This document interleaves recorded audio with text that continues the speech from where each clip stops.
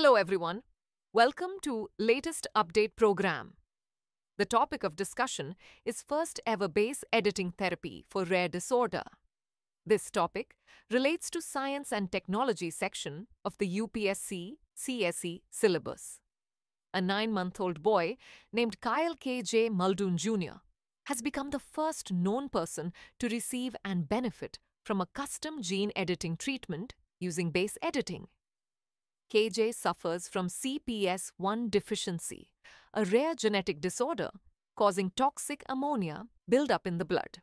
Before moving further, an important announcement. The next offline batch of the IAS GS Foundation course, Prelims plus Mains, is starting soon at Drishti IAS, Noida.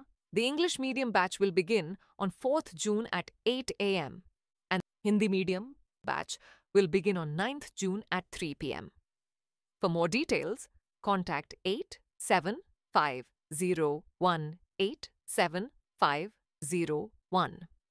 His treatment marks a historic milestone in personalized medicine and gene therapy. Now let's discuss about CRISPR CRISPR-Cas. 9 involves cutting both strands of DNA, double strand break, removing defective sequences, and inserting correct ones using external DNA. Base editing, an advanced form of CRISPR, allows single base conversion without cutting both DNA strands. This method is like using a pencil and eraser instead of scissors and glue, offering higher precision and fewer risks.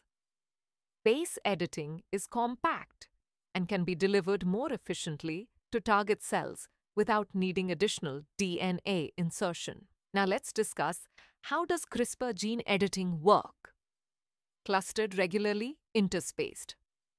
Short palindromic repeats, CRISPR, is a gene editing technology that replicates natural defense mechanisms in bacteria to fight virus attacks using a special protein called Cas9.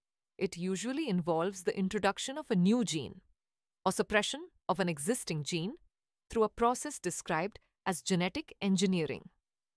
CRISPR-Cas9 technology is often described as genetic scissors. Its mechanism is often compared to the cut copy paste or find replace functionalities in common computer programs. A bad stretch in the DNA sequence, which is the cause of disease or disorder, is located, cut, and removed and then replaced with a correct sequence. Now is the time for previous year question from UPSC CSE Prelims Exam 2019. What is Cas9 protein that is often mentioned in news? A. A molecular scissors used in targeted gene editing. B. A biosensor used in the accurate detection of pathogens in patients. C. A gene that makes plants pest resistant. D. A herbicidal substance synthesized in genetically modified crops. Send the answer for this question in the comment section. Thanks for watching. For more informative content, like, share and subscribe and do not forget to press the bell icon to get the notifications.